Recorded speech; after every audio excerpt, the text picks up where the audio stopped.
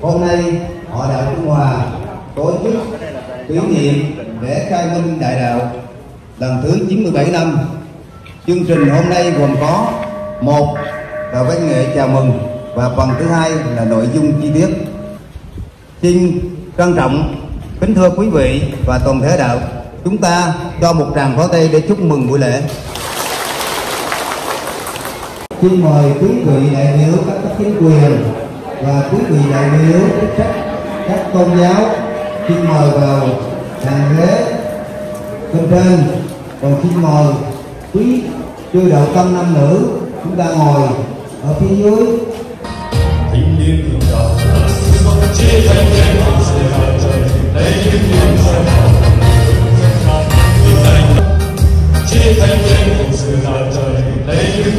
chia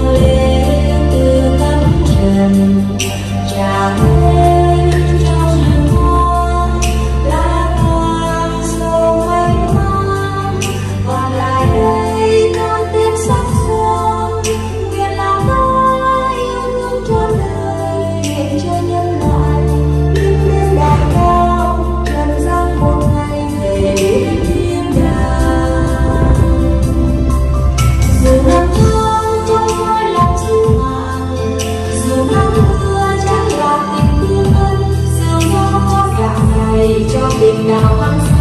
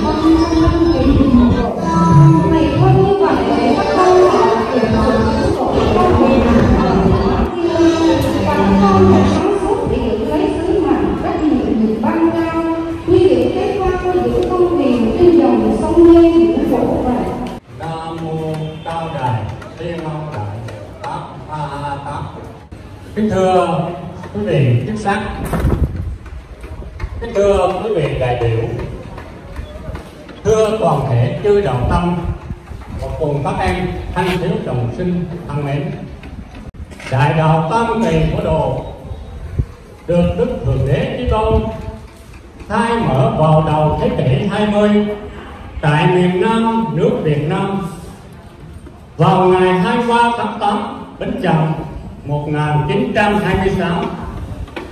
quý vị tiền bối, làm tờ lập tờ đầu có hai trăm bốn bảy người cùng đứng đơn và ký tên, gửi lên chính phủ Nam Kỳ. Và tính đến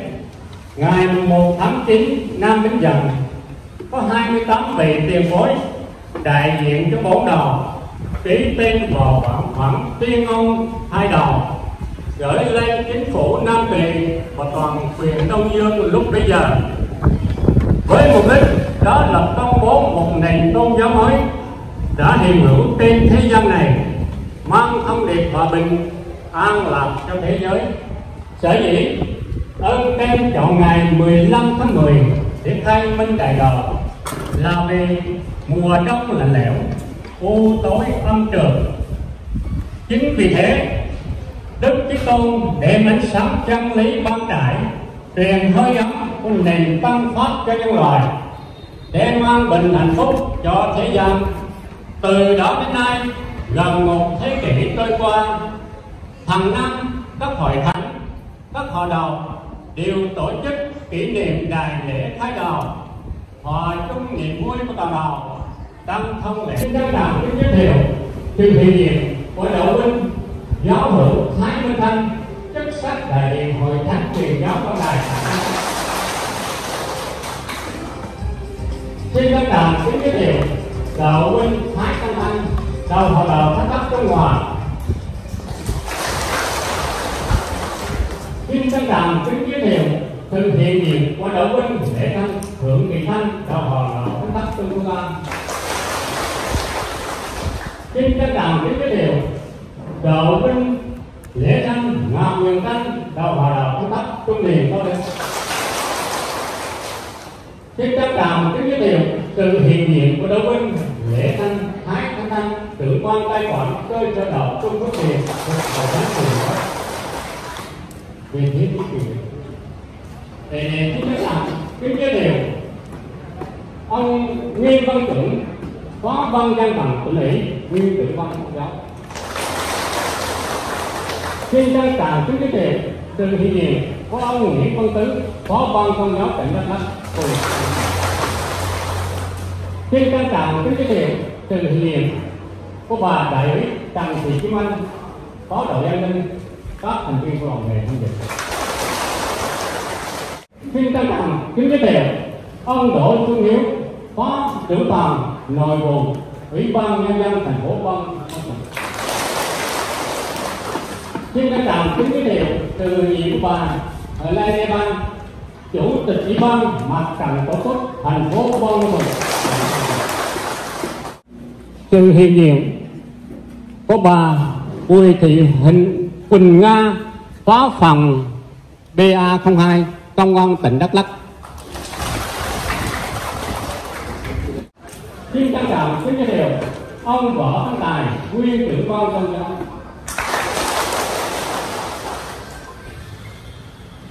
xin trân trọng kính giới thiệu bà Huỳnh Thị Sương Hương vụ quản lý chủ tịch ban mặt trận tổ quốc phường An Lạc xin trân trọng kính giới thiệu sự hiện diện của bà Nguyễn Ngọc Sương, phó chủ tịch hội đồng nhân dân phường Tân Lợi xin trân trọng kính giới thiệu ông võ ngọc phương, phó chủ tịch ủy ban nhân dân phường Tân Lợi xin trân trọng kính giới thiệu ông nguyễn hữu Dân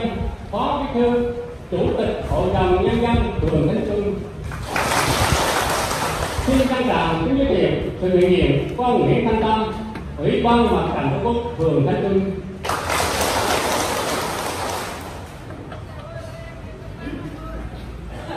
Xin trân trọng kính giới thiệu sự hiện diện của bà Trần Thị Hiếp hiệu trưởng trường Công tác Tây Nguyên xin trân trọng kính giới thiệu ông đoàn văn thắng bí thư chi bộ, tổ dân phố sáu phường Tân Lợi. Xin trân trọng kính giới thiệu cậu huynh thích chấp kiến, tình xá ngọc phương.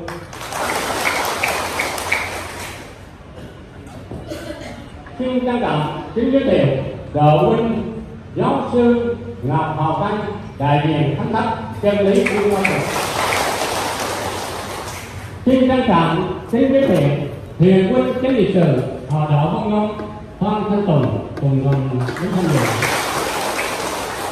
xin trân trọng kính giới thiệu đạo tỷ vương sơn phó cai quản đặc sắc người phái họ đạo thành phố buôn ma thuột. Xin trân trọng kính giới thiệu sự nghiệp của hiền quân chánh lịch sử, nguyễn trung liệt phó cai quản, hành chánh phó trị sự nguyễn đức toàn họ đạo buôn ma đến tham dự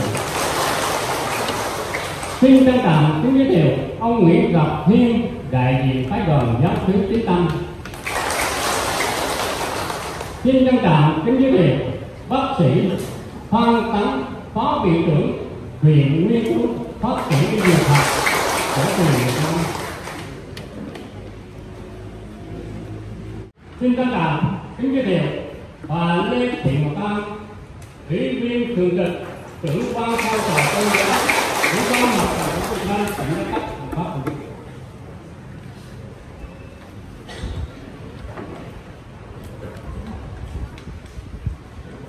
vừa rồi là phần giới thiệu đã qua. Thân học kính mời quý chức sắc,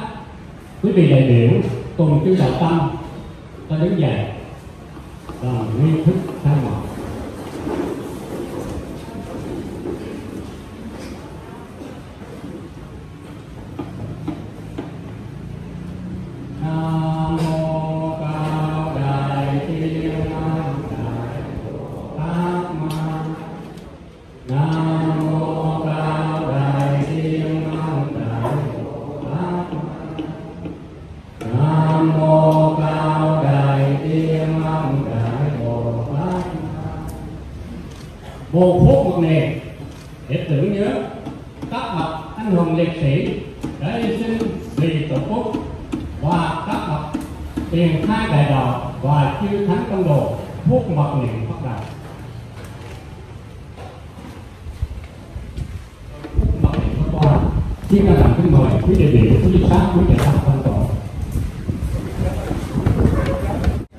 đi vào nội dung chính của chương trình. Đạo đệ xin trân trọng kính mời đạo huynh Lễ Thanh Ái Tâm Thanh đầu họ đò Thánh Thất Đông Hòa có lời chào mừng đến quý vị đại biểu quý chức sắc và toàn đoàn, xin trân trọng kính mời.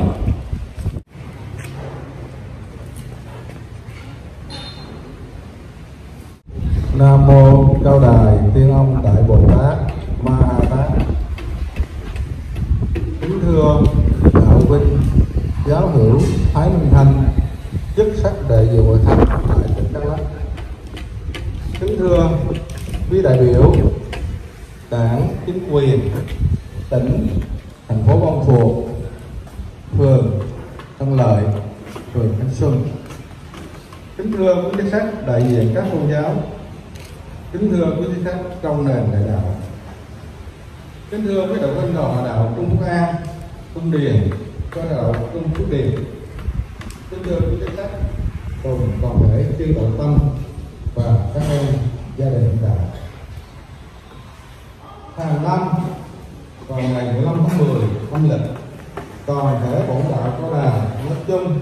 đều tập trung tinh thần và vật lực để tổ chức kỷ niệm ngày đại lễ khai minh đại đạo trong tinh thần đó, hôm nay hòa đạo trung hòa long trọng tổ chức kỷ niệm 97 năm ngày đại lễ cai minh đại đạo. Đồng thời, tưởng nhớ các bậc tiền cai đại đạo dày công sáng lập nền công tôn giáo tại miền Nam, Việt Nam. Vào đầu thế kỷ 20 một nền tôn giáo mới phù hợp thời đại để cho nhân sanh tín ngưỡng tu học và trong kính thưa quý vị, với niềm hân hoan và tình cảm sâu sắc họ đạo trung hòa, vinh dự được sự quan tâm ưu ái quý đại biểu các cấp chính quyền, các vị chức sắc đại diện các tôn giáo, chức sắc trong nền đại đạo để dành thời gian quý báu đến dự lễ kỷ niệm lần thứ 97 năm ngày khai minh đại đạo, ngày 15 tháng 10 kính dần 1926 15 tháng 10 năm dần 2022 thay mặt họ đạo Trung Hòa tôn trọng chào mừng và tỏ lòng biết ơn sâu sắc sự quan tâm của sự quý vị lãnh đạo đảng chính quyền các cấp, quý chức sắc đại diện các tôn giáo, quý chức sắc tôn nền đại đạo còn để cho đạo tâm và các em gia đình lãnh đạo. Xin kính chúc còn để cho quý vị và gia quyến sức khỏe dồi dào tăng ngon trường lạc và thành công trong cuộc tháng xin chỉ được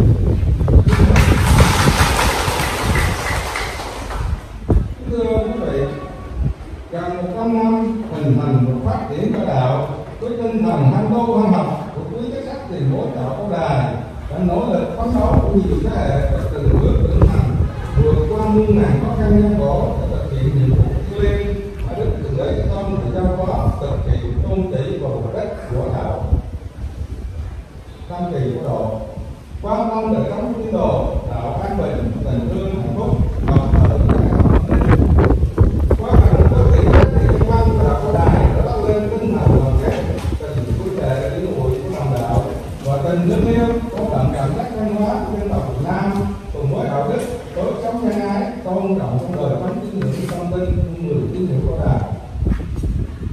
từ truyền thống của tiền nhân đi trước thế hệ hôm nay với tinh thần ham tu ham học xây dựng hạnh đức cho mỗi cá nhân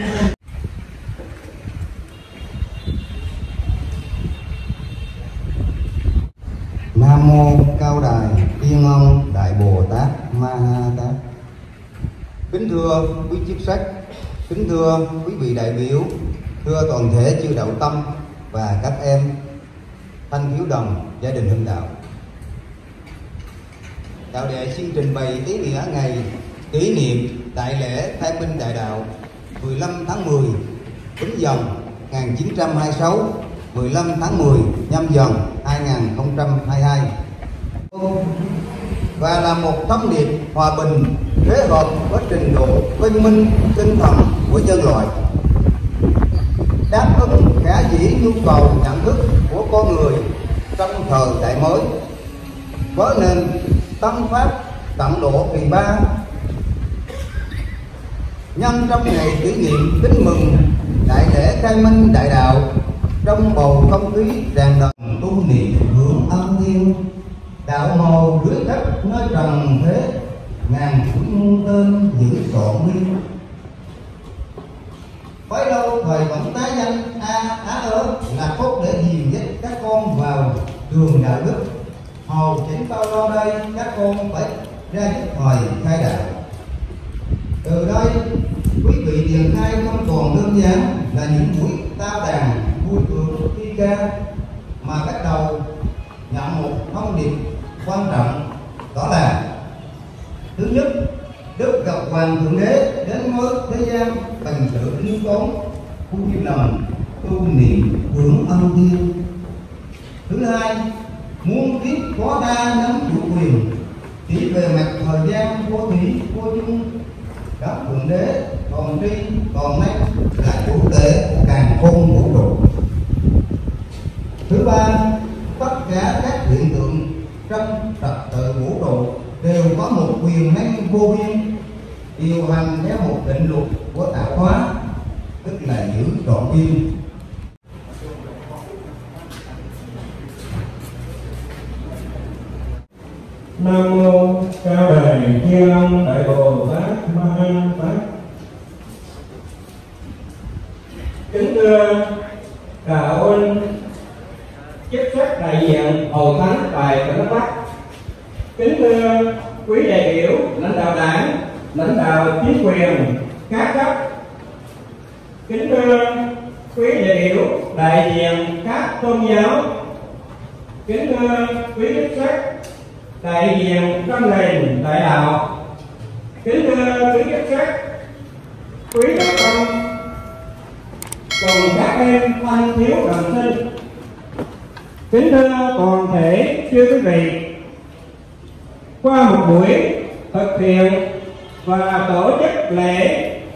tinh thần trách nhiệm cao của ban tổ chức hội đạo. Nhờ ơn khơi dẫn của thầy mẹ cùng các thánh thiên liêng và chư thánh tâm hồ thiên bảo. Gia hộ tổ chức lễ kỷ niệm khai minh đại đạo, đến đây đã kết thúc.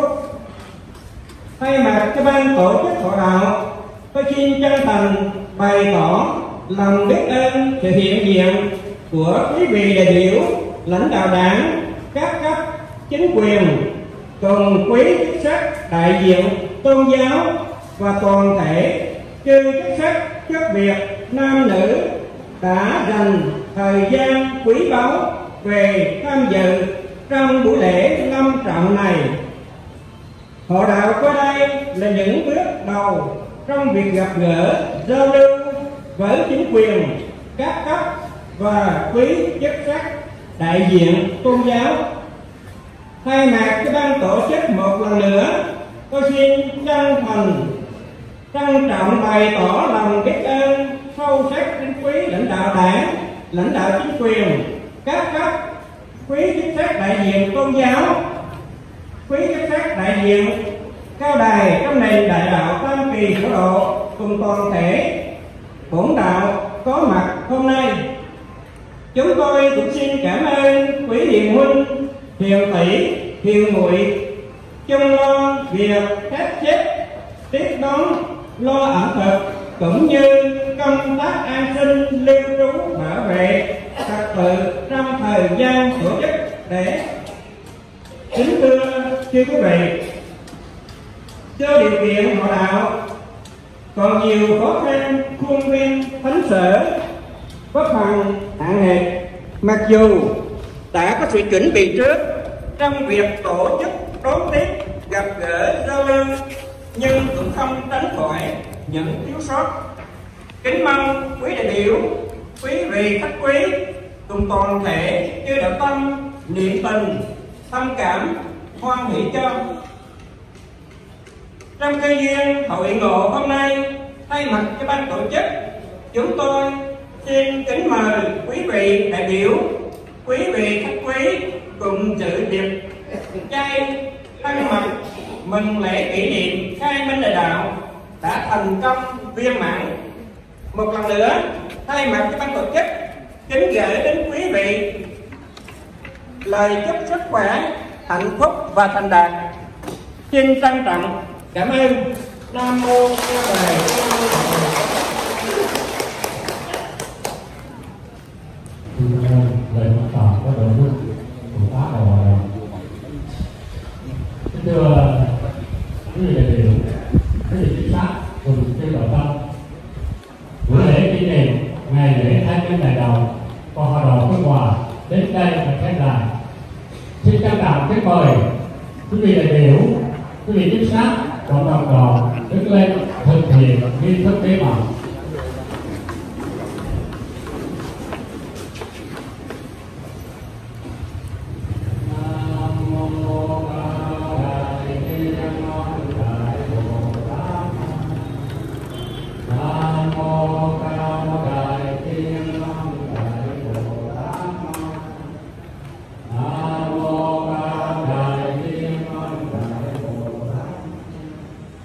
Xin cảm ơn.